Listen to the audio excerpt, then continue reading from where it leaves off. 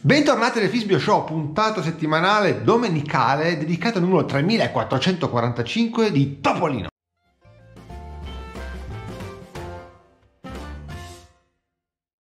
Numero molto particolare con una copertina che si ispira al ciclo Paperingio di Luciano Bottaro, realizzata da Andrea Freccero con i colori di Andrea Cagol. Questo perché al suo interno c'è una nuova storia che dovrebbe collegarsi e riprendere un po' quello che abbiamo letto in passato proprio del ciclo Paperingio di Luciano Bottaro e Carlo Kendi, opera di Carlo Panaro e di Marco Palazzi. Qui Andrea Freccero ha voluto omaggiare il maestro Luciano Bottaro con uh, un suo personaggio che tanti di voi conoscono e a cui sono molto molto affezionati. Lo vediamo in un piccolo particolare, questo funghetto con un papillon. E nient'altro è che un omaggio a Pompon, il fungo antropomorfo creato, nato proprio dalla matita di Luciano Bottaro. Questo è un bellissimo gesto da parte di Andrea Freccero, ricordiamo supervisore, artist eh, dei Topolino tutta la banda dei disegnatori del topo, che con questo piccolo omaggio, secondo me,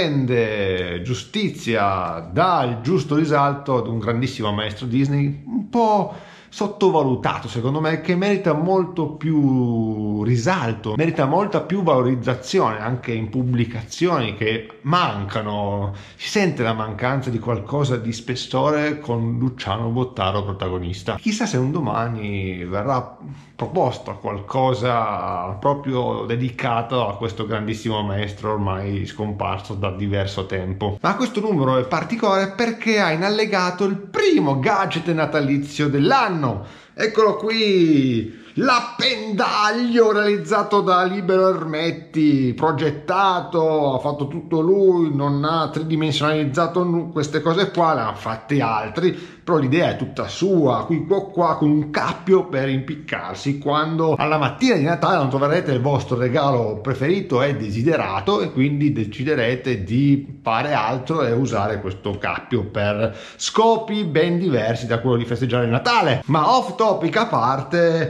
sembrano fatti bene, di buona fattura, fatti tucchiera mi spiace ci stava impossessando di me. Questo è il primo. Come dicevo il prossimo troverete sul numero dell'immacolata con Pippo che si dondola su una deliziosa altalena nel vuoto. E poi la pinzetta con Zio Paperone che suona furibondo una campanella lo troverete in allegato Zio Paperone che io penso zomperò quindi fatemi sapere se anche la pinzetta è di buona fattura. Ma torniamo a noi editoriale di Ettore Bertani che cita le storie presenti in questo numero e cita anche gli autori presenti in questo numero ovviamente. Discorso a parte per Carlo Panaro e Marco Palazzi già citati nel precedente editoriale qui solamente accennati, il direttore si focalizza sulla storia dedicata ad Amelia, le origini di una fattucchiera, storia realizzata da Maya Astrup con i disegni del maestro Giorgio Cavazzano. Qui si andrà a scavare sulle origini proprio di Amelia, come è diventata la più potente strega magliatrice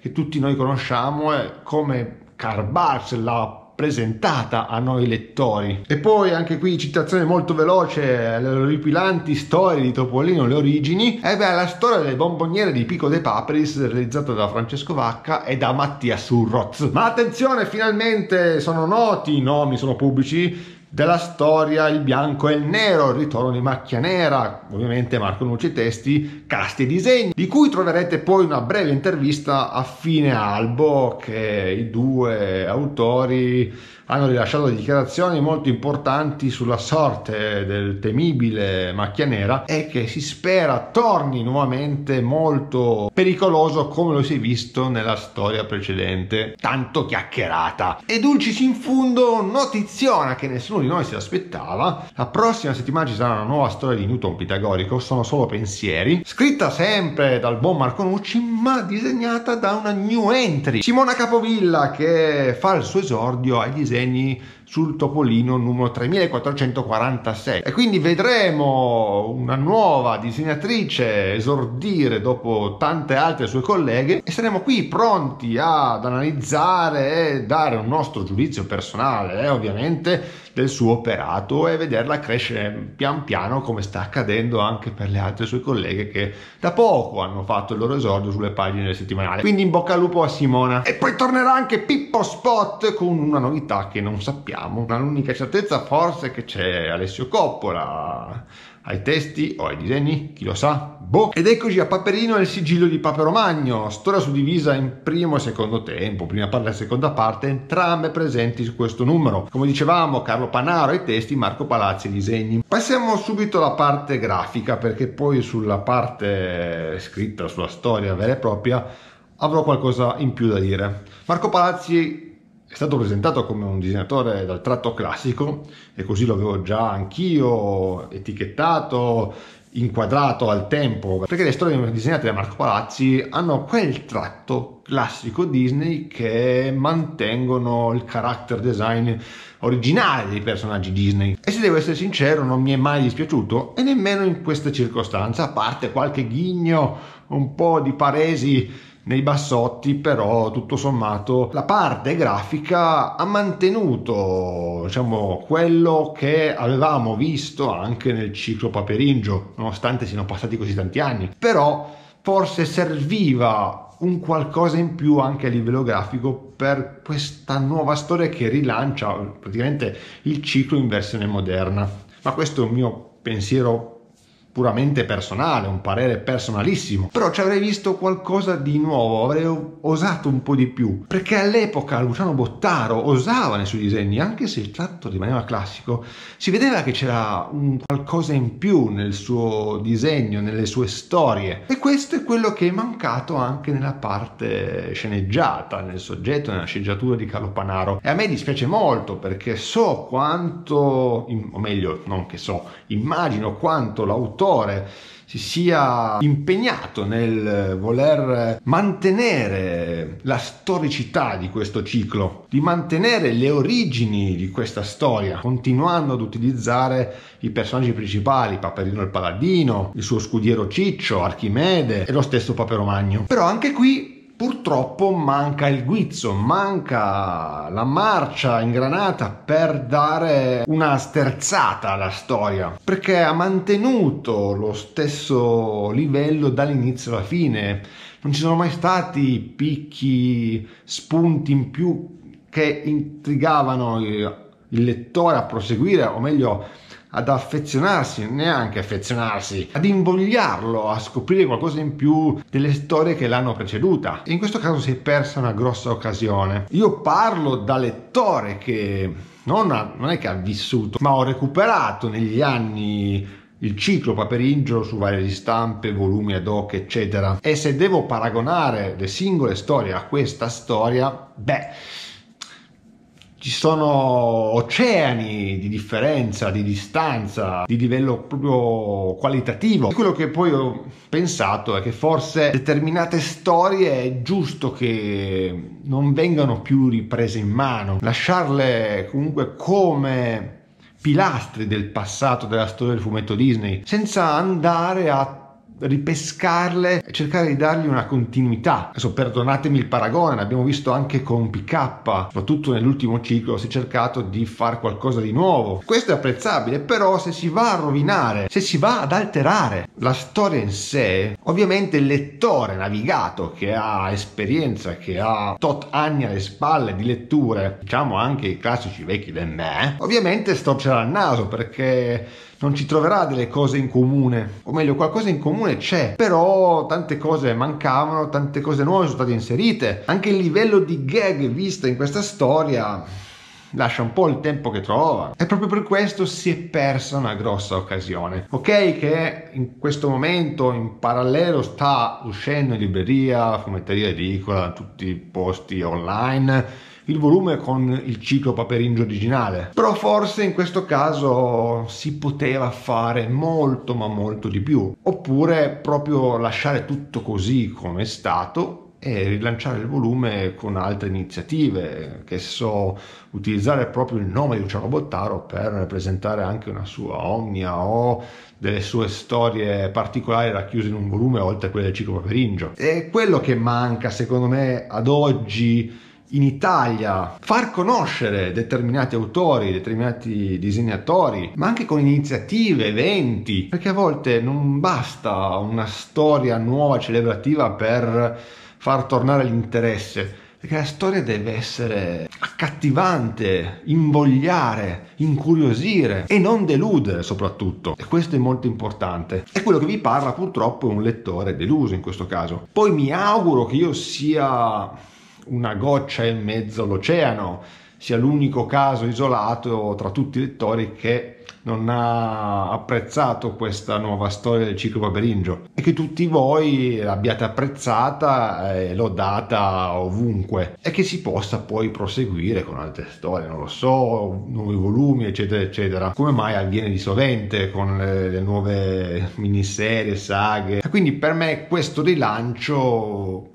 mi sa un po' di buco nell'acqua, ecco, sono schietto e sincero come sempre. Le orribilanti bomboniere di Pico de Paperis, Francesco Vacca i testi, Mattia Surroz disegni. Una godevole riempitiva come quelle che servono come il pane ogni settimana e il buon Pico riesce in qualche modo a stupirci, o meglio Francesco Vacca utilizzando il Pico in questo modo riesce a farci divertire. Per non parlare poi di Mattia Surroz di cui sono fan sfegatato anche se il suo tratto sembra molto frecceriano, ma fate attenzione, Così proprio non è. Mattia anche agli inizi aveva questo tratto, col tempo ci ha lavorato, ha avuto un momento di pausa è ritornato secondo me alla grande sulle pagine del settimanale, giustamente lodato anche dal direttore e avrà modo secondo me col tempo di personalizzare ancora di più il suo tratto e regalarci cose molto ma molto interessanti, ne sono strasicuro perché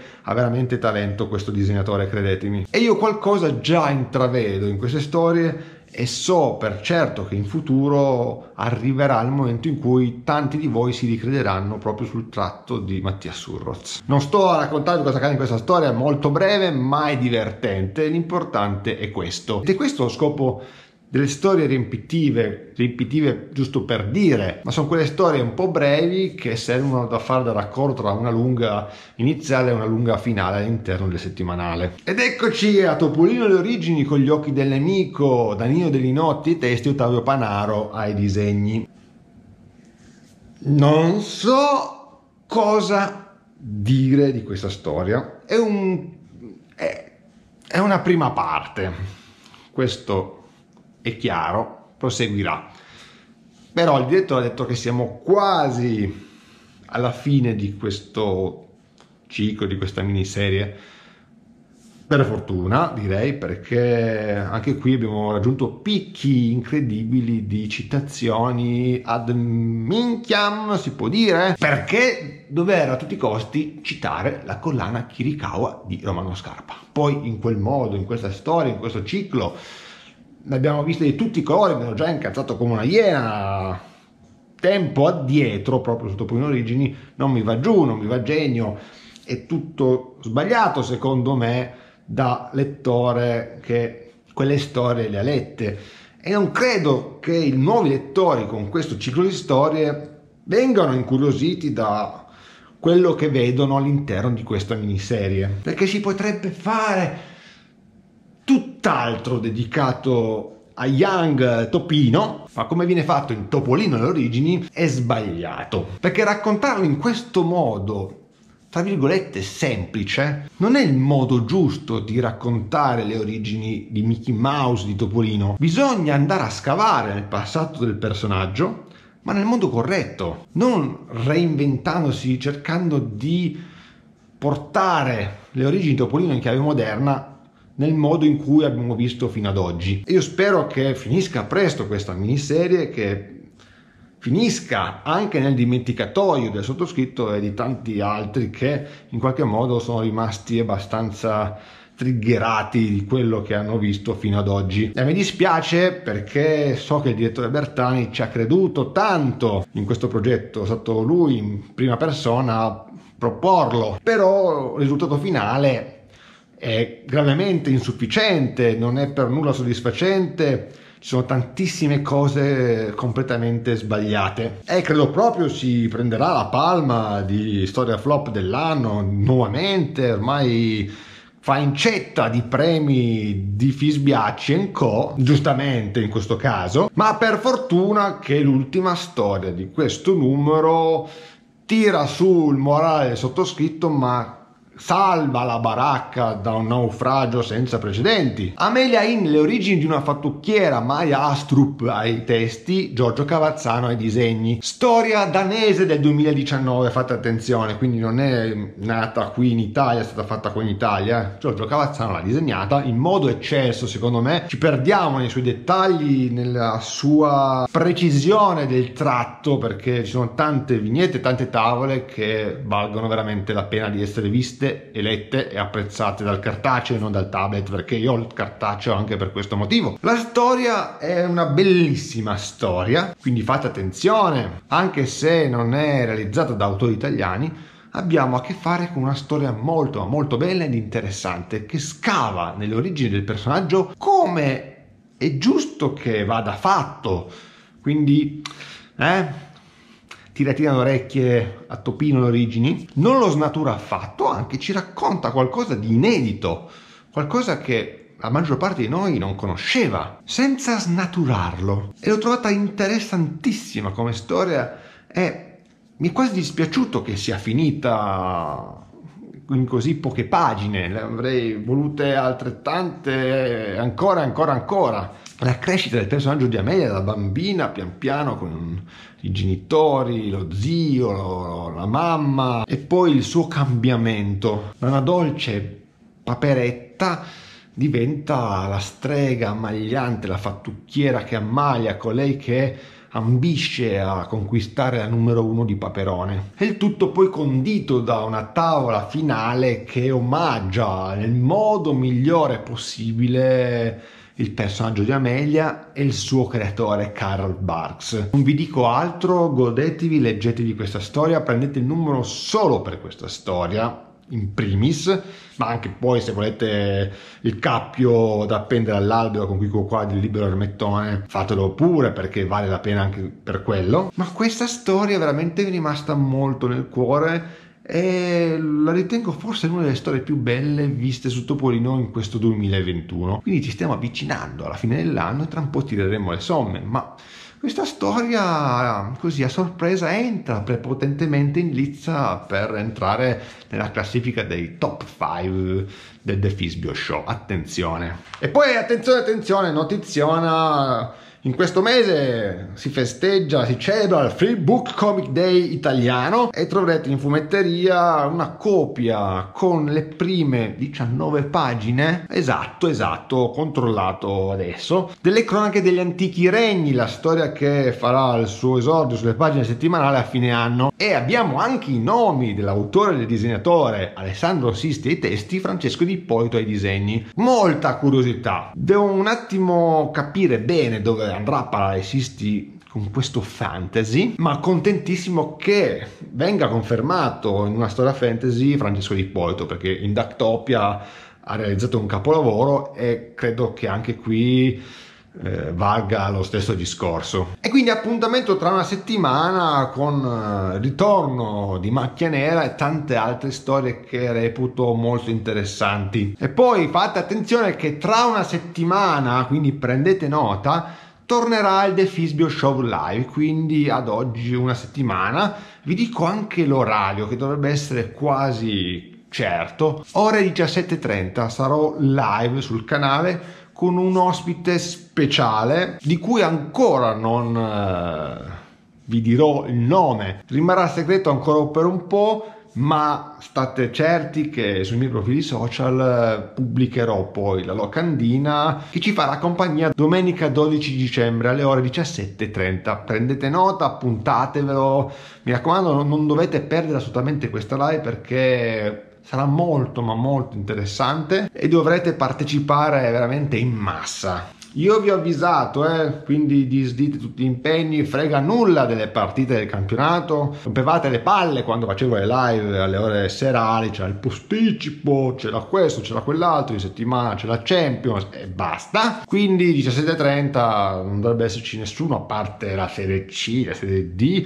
ma quello potete vedervelo in replica. Ma non nelle due Fisbio Show Live, va visto live perché dovrete interagire con il sottoscritto e soprattutto con il mio ospite. Bene, basta così. Vi ho già tediato abbastanza. Come sempre, se il video vi è piaciuto, un bel like. Commentate, fatemi sapere le vostre impressioni, i vostri triggering, perché sicuramente non saranno mancati. Ma anche sapere se avete apprezzato il ritorno del ciclo Paperingio e soprattutto la storia di Amelia. E prima di lasciarvi, mi raccomando, continuate ad iscrivervi, stiamo crescendo piano piano piano piano piano, ma dovrete essere veramente in tanti. Fine anno si avvicina, difficilmente raggiungeremo quella cifra, tre zeri, ma posso anche soprassedere colpa mia che manco da diverso tempo diversi appuntamenti dalle recensioni ai grandi classici Disney del progetto PK ho già registrato il video del numero 1 Ombre su Venere ma devo trovare il il tempo per editarlo perché ci sono tanti contenuti, sapete bene quanto impegno ci dedico per questo progetto, ma arriverà, tornerà anche quello. E poi a fine anno una piccola sorpresina oltre alla live del 12 che vi farà molto piacere, ne sono sicuro. Io adesso vi lascio, buona domenica a tutti, ci vediamo in settimana per un nuovo video e domenica prossima, domenica 12 dicembre, in live con The Fisbio Show Live. Ciao!